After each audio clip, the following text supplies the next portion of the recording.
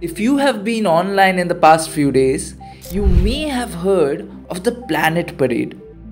Yes, the January 2025 Planet Parade, which is said to be taking place for the first time in 396 billion years.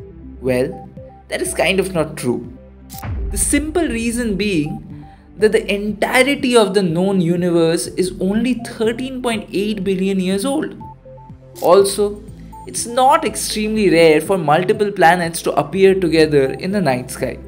Yet, this parade, which will occur across January and February, is a bit special. Here's NASA explaining to you why.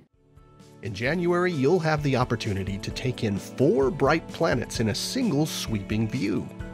All month after dark, you'll find Venus and Saturn in the southwest for the first couple of hours, while Jupiter shines brightly high overhead and Mars rises in the east. Uranus and Neptune are there too, technically, but they don't appear as bright planets. These multi-planet viewing opportunities aren't super rare, but they don't happen every year, so it's worth checking it out.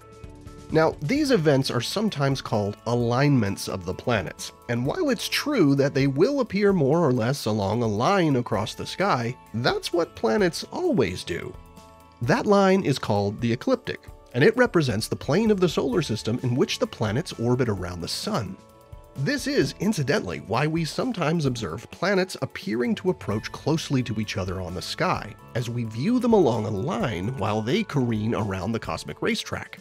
This is exactly what we'll be seeing from Venus and Saturn as they head for a super close approach in mid-January.